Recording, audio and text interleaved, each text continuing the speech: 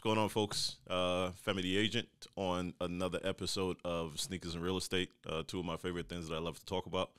Um, we're going to start with the sneakers today because I have an esteemed guest here, so I don't want to spend too much time on the sneakers. But uh, today we're going to be talking about the Jordan 1 Tribe Called Quest. So anybody that's hip hop should automatically know what this design is from. I mean, you know, if you a Tribe Called Quest fan, you had the Low End Theory album, then you should know exactly what this whole thing is about. Um, so these sneakers here, you can tell from the bottom that I wore the hell out of these. Um, these actually dropped in 2009. Um, I didn't buy them when they uh, first dropped, but I got it a little while after. Um, so this is the Jordan One Tribe Called Quest High with the strap, as you can see. Um, this is a really, really dope shoe. Um, this is actually one of the first collaborations that uh, Jordan Brand did before they started doing stuff with um, Drake and all these different artists, uh, Travis Scott. Uh, like I said, this was done back in 2009. So um, this is really dope because you have the patent leather swoosh, you have the artwork from the uh, Low End Theory album on the side of it, which is uh, all in mesh, which is really, really dope. Um, this you can probably still find floating around on the uh, on the internet. Um, the hype around these wasn't as big back then, so these are still floating around. You know, if you could grab yourself a pair, you definitely need to grab yourself a pair. You need these in your arsenal. Um, really, really dope shoe. Um, like I said, I love everything about this shoe. I've worn these a bunch of times, and the material on this is actually really, really good. Uh, you have the Jumpman logo on the back, and um, these are still holding, still pretty good in a pretty decent condition. And you can tell just by looking at these that I've worn these, like I said, a bunch of times. Uh, the box I don't even want to show you because it looks like it's been through a war. Um, but definitely, if you could find a pair of these, you know, like I said, if you're hip hop and you're a Tribe Called Quest fan, you definitely need these in your life. Um, as far as uh, real estate is concerned, interest rates uh, right now they're jumping all over the place. Um, right now they're probably about six and a half, seven percent on the interest rate, and um, you know, if you ask me if I think now is still a, a really good time to buy a house, I'm always going to tell you yes because depending on what your situation is, if you're paying rent, um, you're not getting any tax breaks, any tax benefits from paying rent. So I'm always going to suggest that you need to jump in the uh, in the real estate market and always purchase a house. Right now, the market is slowing down a little bit because we have the holidays coming up. So everybody is still um, getting the kids situated in school. The holidays are coming up, so everything's kind of slowing down. But you know, the people that still have to buy it right now out there still seriously looking. So, like I said, the market is not as crazy as it was two or three months ago, four months ago, um, where the there was still a bidding war going on. Um, you know, you had to pay automatically just to get to the next level of negotiations. You had to pay at least asking price just to get to the next level of negotiations, and you may have to pay 50 75 100000 over ask um, right now that's not what's going on so so you have a, a very good chance of uh, you know getting yourself a home um, inventory right now is um it's still pretty decent. Um not as not where i would like it to be but you know at some point it will get there like i said because we have the holidays coming up and the first of the year coming you know you do have a decent amount of inventory out there and um you know we're to jump right into it. So uh, today i have uh, my esteemed guest uh, short sale queen short sale specialist uh, anything to do with short sale, I think if you look it up in the dictionary, you're going to see a picture of uh, my guest here. so, for those who don't know who you are and have been living under a rock, uh, let the world know who you are. What a nice introduction. Thank you. Thank you. Um, I try to do my homework on you. Right. my uh, my name is Melissa Gonzalez. I am a short sale specialist. I have been doing short sales for 18 years now. 18? 18 years. Wow. Okay. I started in 2004, 2005. I was licensed. Okay. And back then, it's funny because you were talking about the interest rate being at 6%, it's almost 7 And back then, they were eight and a half, nine. You know, second loans were getting 12%, Right. 15% Right.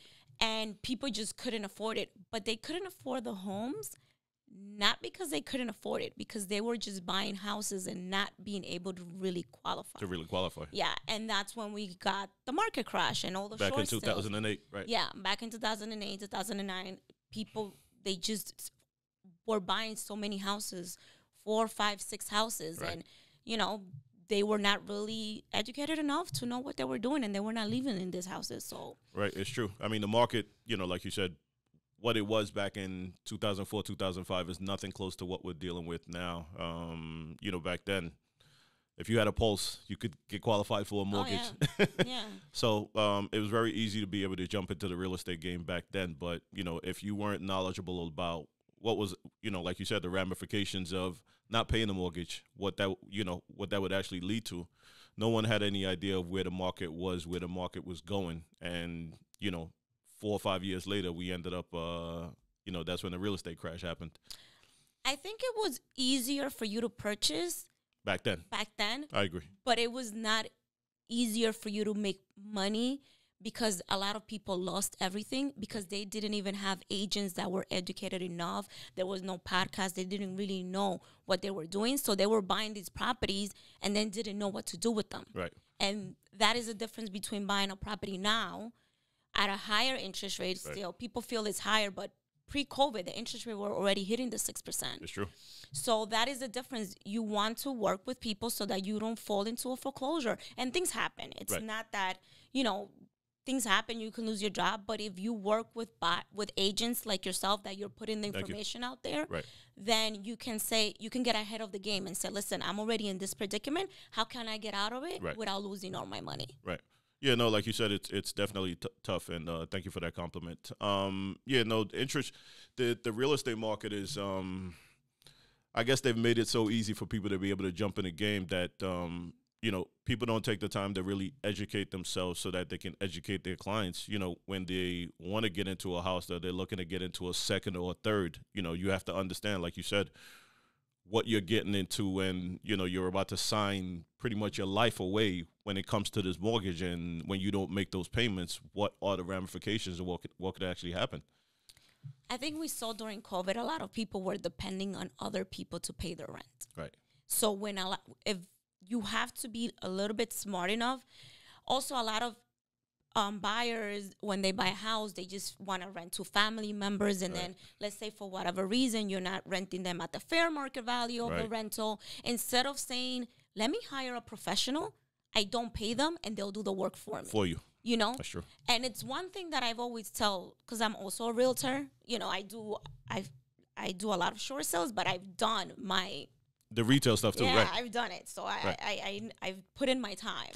um, a lot of times that I tell, you know, when a client hires me to even do a rental, I Right. said, you know, when you're hiring me, you already know that the person that's coming from a realtor, they're willing to pay that fee. So they are willing to pay for a service and they're a lot of times more qualified than somebody that just wants to go through Craigslist and it's already come off the street, yeah. yeah, they're like, oh, I don't want to pay for anything because they don't want to be questioned. right So when buying a second property, that's something that you really want to do because it you also have all that paperwork and all that stuff that's gonna if you need to take a client to court, Right. you have that. You Whether have the you're doing a lease, true. you just sometimes it's word of mouth. It's true.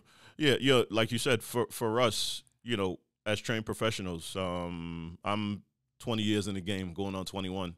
You know, so for us, we understand that it's not just about that one deal that you're doing with that with that client. For us, everything that we do is Yeah. based on relationships, and you know, we are going to take the time to make sure everybody that we're bringing to the table is somebody that is financially ready, willing, and able Yeah. to do what needs to be done, and also they understand there's a certain amount of paperwork that is required. And Yeah. for you know, for yourself and also for me, we're gonna make sure that we get all those things. And if they're missing out on anything, we're not moving that deal forward because for us, it's about our name and it's about our integrity. Yeah, hundred percent. Yeah. Um, so for those who don't understand what a short sale is, you know, you hear it so much, but you know, some people still, you know, maybe are not educated enough to understand what it is. Um, what exactly is a short sale, and how does that? How does I guess when you buy a property, how does it turn into a short sale? So a short sale is a home that it's not worth on the market what the market is going for essentially. So it could be from two different scenarios. Number one, you bought a home. Let's say let's use COVID as an example. Right. You paid hundred and fifty thousand dollars over Over asking. asking. You came out of pocket. You wanted that house. Um, the market shifts. Now all the mar- all the houses in that neighborhood are not worth what you paid Right. because you went 150 250,000 dollars Above asking. above asking and now everything in that neighborhood is selling for $50,000 less than what it, they're asking the mar- the prices are not going up so right now let's just use a $500,000 scenario you pay 650 for it Right. your neighbor's house is selling for 500 Yeesh. the interest rates are going so high Right. You know because a lot of people bought with a low interest rate That's that true. that has not been seen in years In years, right. right? So you were paying out of pocket, and so right now you're you bought a house for five fifty. I'm sorry, six fifty. 650. You if five hundred, your neighbor sold it for five hundred. You wanted the house next door. You bought it for six fifty because you wanted it. You and wanted I'm it gonna, so bad. and I'm gonna pay the same price because. You know the interest rates are two and a half, Two and a half, three 3%. percent. So it doesn't matter to me. Right. The, I see the market going up. The houses are only going up. Right. So one scenario is three years down the line, everybody the interest rates are so high or going up, and everybody in the neighborhood starts selling for 500, 450, 400. 400. You want to sell that house. You no longer can sell it for 650. 650. So essentially, you're underwater. Right. You do not have to be in foreclosure, aka stop paying your mortgage Right. for your house to be worth less than the neighborhood. So you need to have Because that's something that you don't have any control over. Exactly. Okay. You have no control over the market. That's something true. that nobody has control, right? None of us have a crystal None ball. of yeah, nobody can, you know, foresee what's going to happen. Right. So that's one scenario. So if you wanted to sell the house, the you either take a loss, sell it for the 500. If you put all this money in down and you or you bought it cash, there's no you don't have to do a short sell Right. because all you have to do is get your mo- you know, You get the difference of the money back. yeah, and just take the loss. Right. Number two is you lost your job, you went through a divorce, um, you got sick, you couldn't make your payments, and you fell behind on your mortgage. Or you even lost one of the incomes because maybe one it was a two two Yes. incomes. Okay. Yes. If it was a two income home, you stop making any sorts of mortgage payments. Okay. So after you stop making your mortgage payments after three months, you go into lis pendens. Right. And the bank files with the courts something called the list, Lis pendens, pendants, which okay. means they're not paying me my money. I need them to pay me my money. Right. Um, and then you're in foreclosure after that. Because that's when the foreclosure process starts after Yes. 90 days, right? Yes, after 90 days, by nine- nine- 91. Okay. So the bank is coming after you to say, give me my money. So let's, there are people, hard to believe, that they haven't paid their house in five, six, seven, ten years. Yeah, we've heard stories. Yes. So what happens is you go to the bank and you say, Mr. Bank, I cannot sell this home for what I bought it for Oh, for what I owe you. or for what I owe you. Right. Sometimes you don't owe them a lot, but there's liens, judgments that you cannot pay to Right. deliver a title free and clear Right. to the next buyer. Right. So in that instance, you have to do a short sell. Okay. So it's not always 99% of the time is you owe more than Then what, the, house, is worth. Okay. But a lot of the times is also there's a lot of liens violations. You're not paying the taxes if Right. they're enrolled in your in your mortgage. And your mortgage payment. payment. That's true. Yeah. So right. then you have a tax lien. You don't have any money, and you're basically like, I don't know what to do. So in that instance, you go to the bank. You hire a realtor. Right. And you say, I want to list my home for sale. That's the first thing. Okay. I, I cannot afford this home. Okay. And then you go to the bank and you start a short sale process. Okay. Basically proving to the bank, I cannot afford this home. I owe more or there's what the house is worth, right. violations. And I want you to work with me to accept what I less than what I owe you or to pay off all the judgments on the property. Okay. And then with the short sales, normally, whatever you end up selling the house for now, or let me not say that, when you owe X amount on the uh, on the mortgage, and like you said with the liens and everything, it's now up to the bank to accept whatever offer that you get, and then they accept that as payment in full. Yes. So when you do a short sale, two things happen. One, once you close on that short sale, your your credit goes up again Okay. because your credit is being defaulted and is going into the negatives. Right. The minute that you close on that short sale, you're free and clear from that debt. Okay. And uh, anywhere from a year to two years later, depending on what type of mortgage, you could buy another property. Right. So it basically saves your your credit. If you go at a foreclosure, you cannot buy a house for seven, Seven years, right? Yeah. Yeah. With a short sale, one to two years, you could buy a house. Okay. Um, and if you owe, let's say, a bank 1.5 million, because I see it all the time, Yeah. Oh my 1.5 God. million, and they're like, okay, I'll take 500,000. You, you're um, you're not responsible for that other million For the- for the difference of dollars. it. Okay. Yes, you're not responsible. They take it off their books. They give you, a, you know, a, a form. They write it off, and you're not responsible. And it's on the approval letter. So Okay. you get an approval letter, and they say, listen, once you pay me this money, I'm willing to accept. I'm no longer I'm coming accepting this as payment in full. Yes, and Okay. you're not responsible for anything. Okay. It's like a settlement. Okay. But then what also happens is with the difference of what you owe with the um with doing a short sale, I guess what's the um positives and the negatives of actually doing a short sale? Because a lot of people will say, I don't want to do a short sale because now I owe taxes on the loss. You that Because I've heard, you know, you hear so many different No, things. Even though I've done short sales, But this there's is a your there's a form that an attorney gives you, and you you're really when you when they foreclose on your home. So here's the difference between a short sale and, Mm-hmm. And a foreclosure. foreclosure. Okay. So let's say a property is going on for auction for two hundred and fifty thousand dollars. At Right. the end of the day, the bank is always going to get their money, Right. and they're going to get this house back. So a lot of people have the misconception of. You know, if they foreclose on it, I'm not. I'm not responsible, and I'm just living here for all these years. And not true, folks. yeah, and I don't need to essentially. I'm just living for free. Why would I give them back the house? Right. It depends what you want to do with your life. It depends what you want to do after that. Because at the end of the day, they're always going to get their money some way, somehow. Right. So if, if a property goes through a foreclosure, meaning they went through the courts, they foreclosed on the home, they're gonna knock on your door and they're gonna evict you, Right. or they're gonna tell you, give me, you know, they'll give you two thousand dollars, give me my keys, and you, or some people just leave and leave the house vacant. Because when they come and knock on your door, Yeah. folks, it's very embarrassing. So I don't think you want to go through that. so they're going to come for you. So One way or another, way or folks, another, they're coming. yeah. Right. So with a foreclosure, if let's say you owe them 1.5 million, Right. let's just say that number, and they sell it at the auction for 250, they're coming after you and You're on the hook for the difference for the hook. And I've heard a lot of clients say they have been garnishing my pace, my Wow. my yeah, like years after. Like why you took your house, you didn't pay them. When you fi- when you sign a mortgage, you're saying to them all those documents at the closing table. Everything that you sign, folks. Yeah, I am responsible for all this money that I owe you. Right. So that's you know they they have the right to come after you. Now, when you do a short sale, you have the right to say, yeah, they can give it to you. They can give you a form like. Uh, I think it's a W four that they give you, Okay. and it's not a W- it's a ten four. It's a it's a W four, I believe, Okay. and you can write it off as a loss. Right. You don't have to really essentially pay taxes on it. Well, you give it to your account. Yeah, they handle it, but I, I, not. And then there's another form that attorneys and I give to the bank when and and at the time of the closing, they also give it to their accountant, and they're not liable for any of the money because it's a loss. right. Now, a lot of people have the misconception of, well, I've been paying all this money and I'm walking away with nothing. But you also have been, in many cases, depending on the scenario, been living Not paying rent-free. anything rent Yeah. free for the last five, six, seven years. I actually read something the other day of some guy that um lived in his house for 20, 20 years and didn't pay a mortgage for 20 years. Yeah.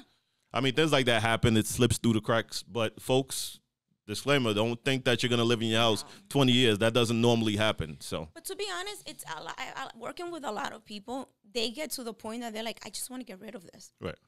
Because it's so stressful. It is. It's very it's- it's stressful. You get the phone things, calls yeah. and you know you're getting the letters and you just don't know what to do. And like you said, after the 90 days, when it now becomes public record and oh, everybody knows now that you're Oh, behind on the oh, mortgage. knocking on.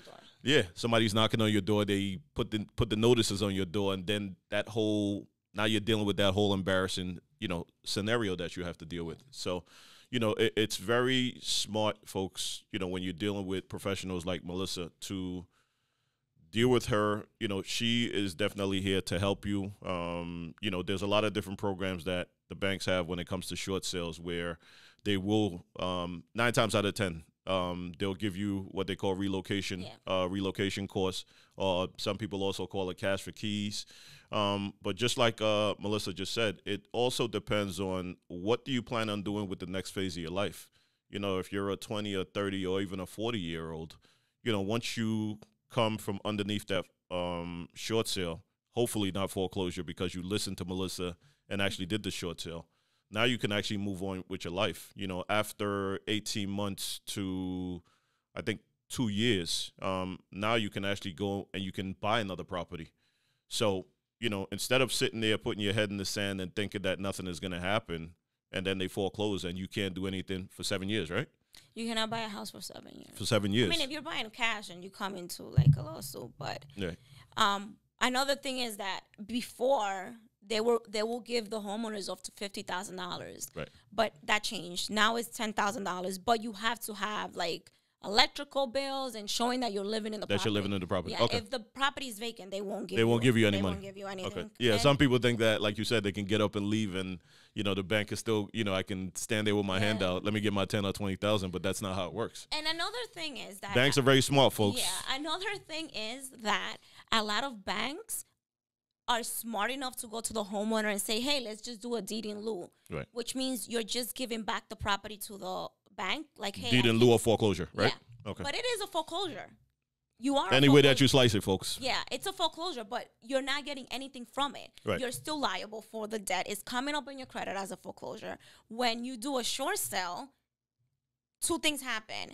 One, you get to walk away with some kind of money for relocation, And dignity. and and two, and two, also you're free from that debt Right.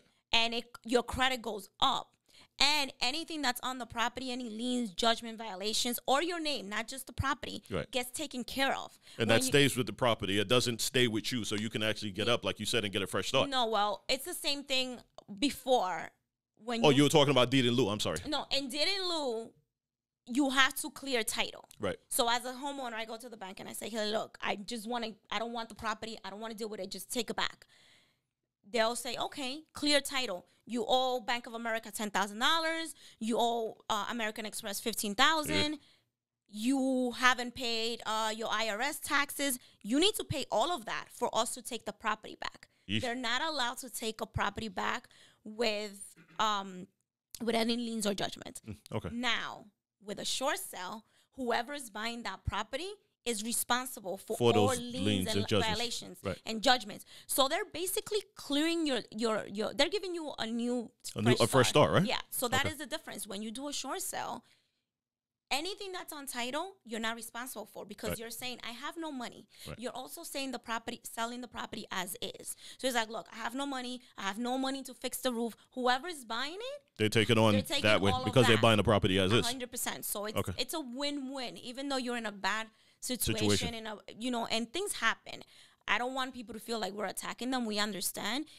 It's just how are you gonna get out of that situation Right. and move forward, Right. and basically speak with people that are going to have the experience, the knowledge, or going to help you find the people that that do have you. that have that experience and that knowledge. Yeah. So like you said, for us, you know, um, it's about you know educating yourself, understand what's going on with the market, and you know, essentially, we're trying to do what's best for that you know for that client. Mm-hmm. Um, so you were talking about deed and lieu just now. What is the um, what is the benefit of a deed in lieu of foreclosure? There really isn't, right? There isn't. Okay. Yeah, I didn't, I didn't think so. no, it's it's it's basically your the only benefit that you're gonna get from it is that a bank is not gonna keep calling you. right. That's the only benefit. However, the minute you start in doing a short sale or loss mitigation, which is when you're working with them Mm-hmm. With the bank. with the bank, they don't really harass you as much. Now they're calling the agent that that you hired. Right. And another good thing about a short sale is that you don't pay nobody a commission. The bank pays for your attorney, the bank pays your transfer taxes, the bank pays um, even recordings, the bank pays the realtor fee. They will pay a realtor 6%. Right. And a lot of realtors shy away from short sales. The bank is paying Well, you. they shy away because they have no idea of how to do Yeah. a short sale. And a lot of times, if I'm going to be honest, if you're going to use a realtor, make sure they know what they're doing. Right. Because if they don't, I've had realtors, you know, short sales that come to me after they've been with realtors and they're, you know, they're like, okay, you owe uh, a- a million dollars. Let's list the house for nine nine nine nine, and then they don't know that there's judgment, violations,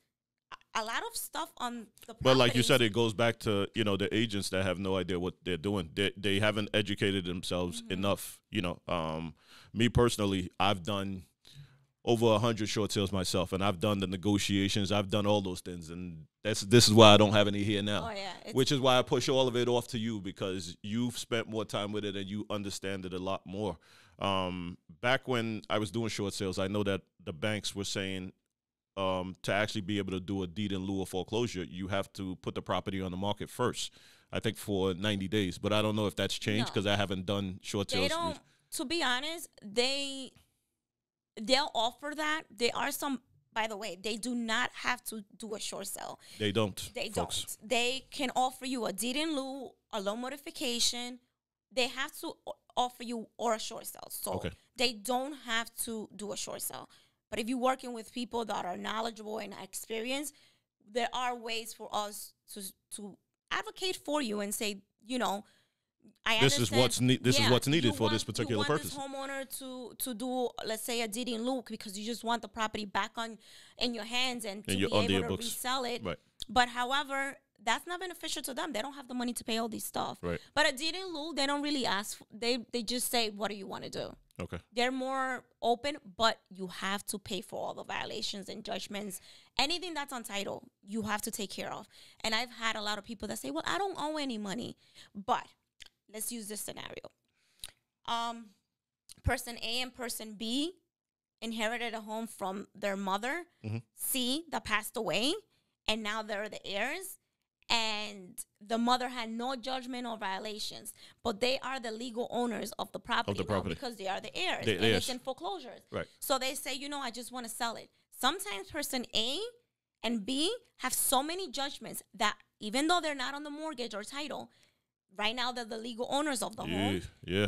All of that has to be clear. So in a case like that, that somebody passes away, like I'm not, I don't, I don't have any ties to this home. It's not gonna be a foreclosure on my name. Right. Yeah, but if you do a short sale, you can give the home to somebody else that will love the home Right. and will make it their own Their own. Right. and you're still getting free and clear. Right. So with a short sale, you're basically walking away with no debt. And when I say no debt, I don't mean if you owe your cousin money, but anything that's on your The credit report, bookies. We're not talking about any of that, folks. anything that's on your credit report gets taken care of. Right. So it's like a really a it's a it's a win win. Or Yeah, really, really like you said, for for people like yourself and also for me, we advocate for our clients. So for us is we're always trying to look to do what's best for the client. Mm-hmm. Um, you know, that's what a lot of people don't understand. Like you said, you know, the the agents who take on these short sales, they have no idea what to do with it. They they're not educated and they're thinking they're doing the right thing, you know, for that client, but it's really a disservice because at the end of the day,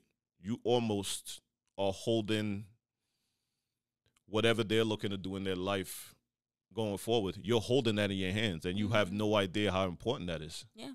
yeah. That's what I try to tell people all the time. So, um, what you would say, I guess, your advice for anybody that's um underwater or is in a position or they can't pay the mortgage. What would you what would what would you suggest that they do?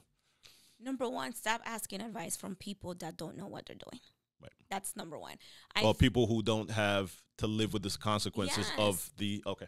because I've honestly I've seen a lot of people go to their family members um or friends or not because sometimes they don't want to go and say what's going on in their life but You're in too general, embarrassed. yeah and Right. stop paying an, an attorney to do a loan modification Oh for you God. if you cannot afford this home there's a lot of attorneys that A lot of attorneys. We're not monthly- knocking all attorneys, but Yes. I know a lot of them yeah. too. They charge you Five hu- 5000 10000 even $3,000 a month Right. to work on a loss mitigation for you. And they know that you cannot afford this home. Right. So they're, what they're doing is they're just prolonging the process and you're coming out of all this money in your pocket where it's like, let me just save the money, maybe buy a house down the line Right. because I'm not paying my mortgage. If you know you cannot afford the home, just walk away. There's a lot of people that are in denial. It's better to do something at the beginning than towards the end. You you have to be proactive, like you said. I also know, you know, a lot of people who pay attorneys and they're thinking the attorney is actually doing something, and nine times out of ten, the attorney isn't doing anything. They're collecting that money every month, and we're not knocking all attorneys, but we know a lot of shady Oh, yeah. attorneys who take the money every every month from that client and is not even doing anything with the file. Because if the person's situation hasn't changed and you're telling them that you're trying to work on a loan modification for, for them if you're not showing any income nine times out of ten the bank is going to deny it anyway. So when you're taking that money and you're telling that client that you can get this done or you can get that done and you and i both know that nothing can get done it's like what's the point of even doing that to a person?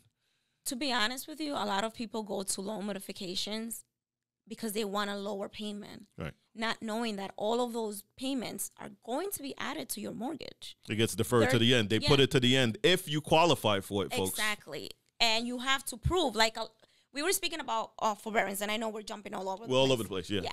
But just get the gems folks Yeah. pay, pay attention what what I will say is if you know that you cannot you know afford your home or you're in a predicament that you foresee yourself in the next 6 months like this is too much and you're not in foreclosure as of yet Right. but you foresee yourself being there the first thing I will say is get an agent list your house get rid of it and try to get some equity number 2 if you are in a foreclosure and you can't afford it, interview people that are in that field. Do not go get an agent that has never done a short sale, that has never worked with an attorney, that's just going to give a file to an attorney and just put it there. Again, I'm not knocking any attorneys. There are very good attorneys that know how to do short sales, Right. but I can also almost tell you a lot of people are not going to sit on the phone calling every day, every minute of their day. What's going on with this file? What did you do? How's it going? You need to t- work with people that know what they're doing What they're or doing. at least hire an agent that works with people that they are. I'm not telling an agent to do a short sale. Right. I'm a real estate agent. I have my own short sale company where all I do is negotiate short sales. I work with agents. They get paid. They get the commission. Whoever's buying the the, the property. property, right. Hey, there's a fee that goes to the negotiator who's handling the short sale, and they're gonna do it in a quick, you know, ta turnaround time. Turnaround time. That's your job. There, there are so many things that go into a short sale That's what a lot of people don't understand. that a lot of people don't understand. It's not just getting a number that works for everybody. It's also advocating for both clients. true. It's also advocating, hey, the bank wants all their money. They want their money. So it's not just and they're saying- not agreeing, like you Yeah. said, they don't have to do a short sale. They folks. don't. They Make sure that don't. you understand that. So when you're working with a bank that's even willing to listen to you, you want somebody that's giving them the paperwork as soon as they As ask soon for as it. they ask for it. Because if not, you got to start all over. All over. So that's one thing. Another thing is if you're in a forbearance, because we we touched about forbearance. Right. Banks are telling you for you to go back, you need to either one put all of this and get essentially like a second loan, Right. and or number two, you gotta pay them all that money that you owe, and you cannot just go and sell the property. I mean, you can sell the property as Hopefully, like you said, that's right. If they they agree to because it, because they also have to give you like a payoff, but you can sell the property. But if Right. you're already in foreclosure, a lot of the times it's really hard because that once they hire their attorneys, they're adding all those other all those fees.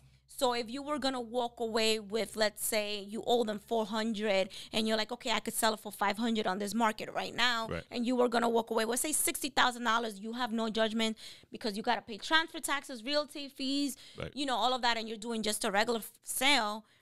Once you stop paying, you're no longer gonna walk away with anything. They're just eating all your money and uh, all your equity. And with for- all those fees, like you yeah, said. and the forbearance, everybody thinks that you can just refinance and like you. First of all, the interest rates are so high that right now nobody wants to refinance if you have anything under five percent. Right. Number two, you have to be up to date for you to be able to refinance. So if you haven't paid In six months, six months, seven months, ten months, a year since COVID, it's not gonna work. it's not gonna work, and it's not gonna happen, folks. Yeah. So the best thing that I will tell anybody is like just be honest with yourself and it's better to get away from it, maybe rent and then in a year go be able to buy something else again Right. instead of just you know, accumulating money and money, money, Racking and- up and- fees yeah, and- yeah. it's it's it's it's just not. It's mentally draining, and I see a lot of people lose their houses. I've also seen a lot of people say, "Hey, listen, the market is gonna crash. Why don't you stop paying your mortgage?" Don't listen to people. Do not. Well, the people that are always going to tell you not to pay are the same ones that live in their mom's basement and they Yeah. live they live next to the boiler room. So I don't listen to people like that, and I try to tell people all the Ah, time. Stop. You have to listen to the people who actually are going to be involved in that whole situation that actually has to deal with the consequences. Mm-hmm. yeah. But you're listening to people who, like you said, who have no idea and have nothing to do with the situation. So, you know, going back to what you were saying before, homeowners, if you are behind and, you know, you are trying to figure out what to do, you know, if your brother, cousin just got their real estate license and you want them you want to give them the house, that's not the right way to go, folks. You want to make sure that you're dealing with professionals like Melissa, like myself, people who have been in the business, um, you know, a good amount of time, but also are knowledgeable about the short sales, the process, and can put you in contact with all the right people. Um, real quick, um, what are your thoughts on the forbearance? So, you know, what what has been happening since COVID? Because a lot of people weren't able to work, and um, you know, the banks gave them different alternatives, or some weren't able to work. Let me not say that because we still had the essential workers out there. So, what are, what were your thoughts um, when you saw that come out? I advise everybody that was working and collecting unemployment to not do it. Okay, to But continue to continue to Just pay their mortgage, to make your payment, mortgage payment. continue to make your payments. when you were in a forbearance, your credit was going down. Right. Even though you were in a forbearance. Right. And essentially, you have to. There were government pro- programs that came out, but they were giving certain amount of money for people to catch up, and a lot of people were not educated enough. A lot of people were not contacting their banks. A lot of people did not know that there were money out there. I didn't know that there were money out there. Right. To I didn't know that either. I didn't know they were giving they were giving so much money, like depending on the state. So like let's say uh, New York rent and mortgage is very high, Right. so they were giving up to twenty five thousand dollars for you to reinstate your, Your mortgage. payment. oh wow. Okay. And but it was a grant, and it was like the first hundred thousand people. Let's say there's Mm, okay. mil- you know Millions. they gave certain they allocated certain amount of money Right. and i didn't know that to be honest and i have you know you develop certain relationship with negotiators when you do the same Then deals over, with o- them over again, of course. and transactions and they told me they're like listen we these investors do not have to offer you any Anything. kind sort of you know repayment plans they don't have to work with you Right. um everybody felt because it was the same government kind of when Obama was in office Right. and he was giving all of these programs Different incentives. yeah, Right. what you know, and that's when they were giving the relocation fee. That the same thing was going to happen when the loan modifications. It's not the same market, so you cannot compare 2008 when everybody was getting mortgages that didn't qualify for as Oh, getting bailed out, like you yeah, said. Yeah. 2020, 22, when you could qualify for your mortgage, you just chose not to, Not to pay, pay your it. mortgage. And they're going to ask you, I need to see your proof of income. I need to see your bank statements. I need to see your taxes. I need to see that you weren't really not working and not just collecting all this money and decided not to pay my mortgage. Right. Like they have systems in place to make sure They can check that, folks. They can. Yeah. They right. They can It's- tell if you know you're telling them that you're not working, but you know you're in the medical field and you are an essential worker, so Yeah. you have to go to work every day anyway. Because what they do is they compare your, especially if you just got a mortgage. So let's say you got a mortgage and it's with the same lender. They're like, hold on, you got a mortgage in 2019. You were a doctor making two hundred thousand dollars, and now COVID happened and you're making four hundred thousand dollars because you're working overtime, but you can't pay your mortgage.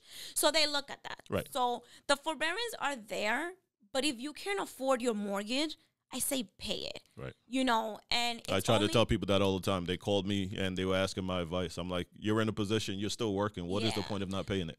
a lot of now a lot of banks are not giving you that much of an option Right. and at the end of the day you're getting a second mortgage for that for whatever you owe For the difference, I was just about to say that because what I'm what I'm hearing, and you correct me if I'm wrong, whatever you stop paying or whatever goes into forbearance, the bank is now putting another position Mm-hmm. on your mortgage. So now, if you have a first and a second mortgage, now that forbearance or the difference of that money now goes in in the third position. Correct? correct Okay. and you still owe them the money so essentially when you sell your property let's say let's say you did a forbearance and now all of that money is there you know and, and it's towards the back and you owe them $300000 and the house is worth now let's say 400 you're gonna walk away with nothing Right. Because You did the forbearance. you did the forbearance and you got to pay that and not just that you got to pay the realtor fee right.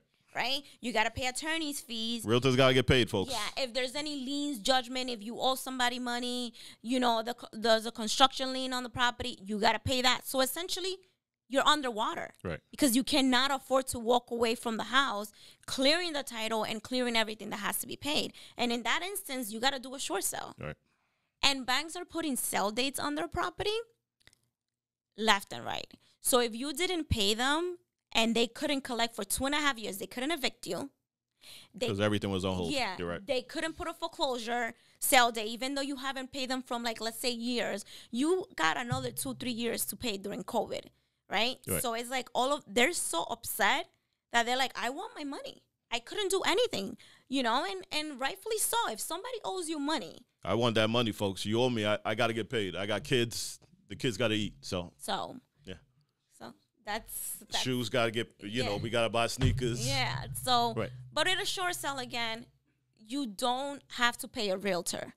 And if a realtor or an attorney comes to you and says you got to pay me, the bank pays them.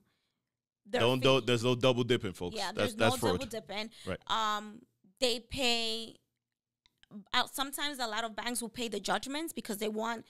You know, the bank doesn't have the right of the property until they Until- foreclose on right. you. So they basically want to work with you because they they want their money back. Right. You know, even though they wrote it off the books, even though they they have insurance for that, they want their money because essentially they want to get paid. They want to get paid. Right. So they're willing to work with you as long as you're willing to communicate with them and Right. and and you know be cooperating.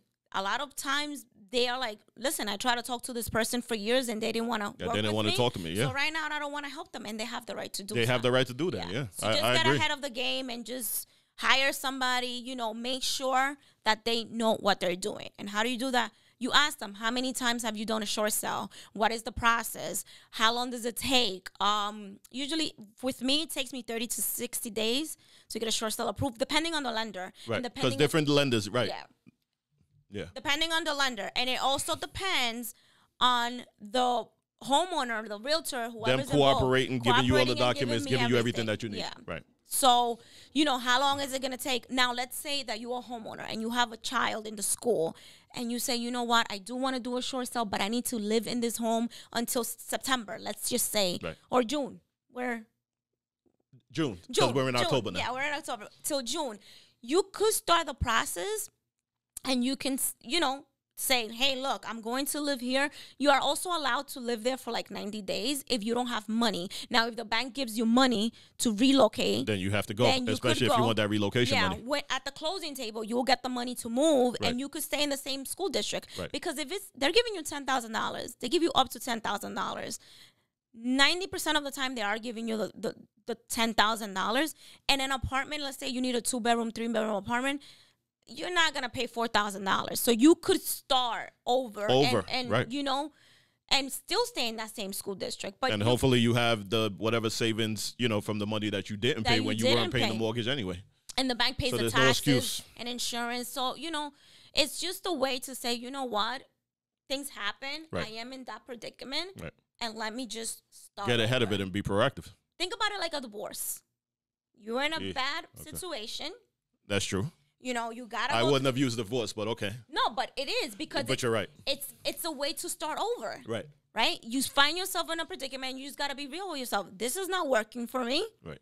I'm not in a good place. Right. Let me save whatever I need to save. When this relationship is over, I'm gonna I'm gonna can come move on out. with my life. I can move on with my life And come out ahead. Okay. and come out ahead. That that's what a short sale is. It's a it's kind of That's a- what a divorce is. Okay. yeah. That's you know. I'm saying like No, know, no, that's a great analogy. it's it's just I didn't look at it that way. for you to start over and say, I'm just you don't want to do it a lot of times Right. and you're, you're like stuck in the situation and in a short sale a lot of people are in denial Right. a lot of people like I, I invested so much money especially first time homeowner especially minorities especially people yeah. who are like this was my dream to buy a home Right. why am i just gonna give it this is something that I need to tell you guys. Stop thinking this investor is gonna get the house for more, for less. They're gonna make all this money. Stop. It doesn't matter what the person gets it for. Pump your brakes, folks. Yes, as long as you get to walk away, because they're With going your dignity. yeah, they're going to do all the work. They're going to clear the titles. They're going to pay for the violations that a regular person doesn't have the. You're not in a position to do it. Yes. Right. Can we just talk about buyers, regular buyers who want to buy short sales? Sure. Let's get let's get into it. Because it's very important. You always get buyers. Please Where find me. A, please Oh, please no, go. buy me a short sale. Right. Please find me a deal. I want to buy a foreclosure. I'm sure you hear that all day long. all day long. Please, I need to buy a foreclosure. I'm like, you're an FHA buyer. You don't have closing costs. You want to get a seller's concession. Do you know that when you're buying a short sale, you as a buyer have to be responsible for all the fees, extra fees that are on the property? Do you understand also as a buyer when you go to see a property, you're buying it as is. Right. This homeowner has no money. They're not going to fix anything. They're not fixing a roof. They're not doing any of those They're things. so that's the difference between retail real estate and short sale. Short sale, you're buying as is. A regular property, you can probably negotiate certain things. So folks always know the difference because you guys call us all the time. You know, I'm looking for a short sale. I need to buy a house for three hundred thousand, even though the going rate for a house in that area that you're looking for is five fifty or six hundred. Folks, it's a needle in a haystack. and also even if that investor sometimes the investor like i've i've you know when you do a flip Right. right and the person goes i saw public records. They bought it for 300000 and they want to sell it to me for 600 what does it matter to you? What they did the work. They did all the work. they did all the work. They got all the permits. Right. right? You don't know what other fees are attached That were all that was included. You're right. if there's judgments, violation, if they need to pay extra fees for a tenant to be evicted, Right. you don't see that on the sale price. You never see that. They just look at like you said, public Yeah. records. I hear So- that all the time. So you guys need to stop with that misconception of it doesn't matter. Worry about what you can afford and worry about, you know, you're getting a property that you might not have the money to do all the repairs. Yeah, it's funny. I had someone, you know, reach out to me the other day and they were asking about a property. They said that they looked on public record and saw that this person paid X amount. So we'll give them sixty five thousand above what they paid. So even though I wanted to hang up the phone, you know, of course I couldn't. Um, the property ended up selling for $150,000 more than what they paid. So it's like when we talk to these buyers, and folks, please listen carefully.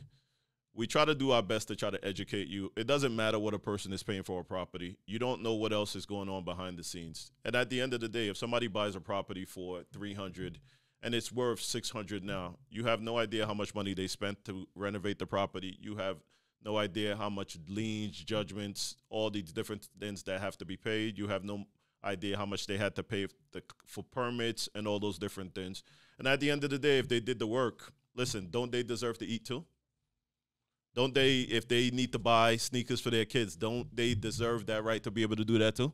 Or am I wrong for saying that? I'm going to say one last thing about the short sale in the market. Okay. I have a lot of clients, people that are coming to me and they're saying, I'm going to wait because there's going to be a lot of foreclosures and the market is going to drop. And here's what I'm going to tell you I'm going to tell you three things. Tip number one for you to get a short sale, you need to convince that seller to sell the property to you or to sell the property in general. Right. So even though there will be a lot of people who are behind, if they don't want to sell their home, they don't have to And you can't force and them you to. can't force them to. They have to be willing and able to cooperate to sell the property. Right. Number two, for you to buy a short sale, even though there will be a lot of scenarios, people who have cash, who are going to close in 30 to 45 days, are going to have an upper hand on you that are trying to get a, A mortgage mortgage. without knowing how much the interest rate are. And even if you do conventional mortgage, you don't know how long it's gonna take the lender. If you lost your job, you like a lot of things could happen. It's true. And a regular buyer, can you buy a, sh- a short sale? Yes, you can, but you're not gonna get it for that same price because, again, you know, you're not gonna get it as an investor who's coming in cash. An investor is always going to have the leverage. Yeah, because they're also going to pay all the judgments and violations, and you may not want to do that. As as a buyer, you may say, okay, I'll buy a short sale, um, but I want the house to be, you know, you want to nip and pick, and and I want it to be in this neighborhood. You don't have that choice. Right. You you don't have a choice of how far is it gonna be, or can you show me another short sale because I don't like this. And that's something in the retail market. You have the right to say, okay, I want to live in all these neighborhoods. Right. Right. You also have the right to say where you want to live. That's true. But you don't have, we don't have the option to show you the same amount of short sales in all these other neighborhoods as residential houses, and because there's not that many. There's not as many short sales as there are like- retail. there right. may be one, two, three to every in a mile right. when there's 50 for sale. So that is the difference that you know you also don't get to choose what kind of house you're buying. It is it's what's there. You either take it or leave, Or you leave it. So that's an that's an issue that a lot of people are like, "Well, I want a foreclosure." And I'm like, "But you're basically settling for your dream home. Right. You could make it your dream home in the future, in the future, right? but you're settling because you're paying less. If you don't have the cash to fix the house or you want to do a 203k loan, you're you're paying a contractor's price. You're not paying your uncles to fix it. You need to be licensed, Licensed. to do all that. and you're working off of their timetable, not your timetable, folks. exactly. So that's something with buying a foreclosure. And number three, And watch out for these shady contractors. I got a video coming on that too. yeah, there's a lot of shady contractors. And number three, that I'm I- dealing with one right now. Crazy. Number three is don't wait to buy a house based on what everybody else tells you. Buy a house when you are ready to buy a house. When people ask me when is the best time, when you can afford it. Right. Because the good thing about the market shifting right now is that you could get a house lower Right. and then when the if and when the interest rate go low, You can always just refinance. Right. You know, and if the interest, I had a client, a regular buyer, we're looking at a house, four hundred thousand, interest rate were three and a half percent. She said, "No, my son told me not to buy a house Oh, because great. the interest rate are going down." Guess what? Now she cannot afford a home because that that was her max, 400000 Right. hundred thousand. Right. Interest rate are seven percent. They were three and a half percent, and she is paying double for that house than what she would have paid. Good job, son. I hope she's living with you.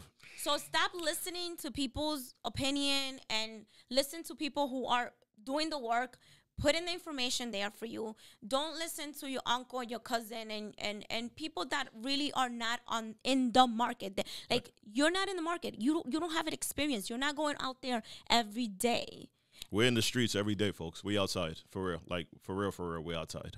And sometimes finding a deal doesn't necessarily need to be a foreclosure. Sometimes finding a deal is going to a homeowner who is not in foreclosure and it just wants to get rid of the house. They've been there 30, 40 years. You can still go in there, like you said, put your own spin on it and do different things to the house They're to going make it. through a divorce. They don't want the house anymore. They're like, let's just sell it and let's just get, you know, we don't want to live together. And you could get a deal. Sometimes, or a house that's not brand new that needs a kitchen or a bathroom, Right. you'll get it lower than a house that's on the market fully renovated. Right. So there's deals everywhere. Just work with an agent that's willing to listen to you and put in the work.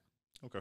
So we're gonna wrap up now, folks. Um, I want to thank Melissa for uh, coming on. Uh, I think we got to do another one, probably just on forbearance alone. Oh, yeah. Um, what is the best way for folks to reach you? Uh, you can reach me on Instagram at Short Sales by Melissa, or my office is 516-253-1953. 1953, folks. So when you're calling her, hopefully you have a short sale to sell. Don't call her just to waste her time. She's a business person. We're all business people, folks. Um, if you are behind in your mortgage, you can also reach out to me. Um, I do a lot of short sales, and I can always connect you with Melissa. Um, you know, if you're looking to sell your property, you you looking to buy a property, reach out to me. Me and my son, we can definitely help you. Uh, Femi the Agent on all socials. 917 337 3727. Have a great day, folks. Stay safe.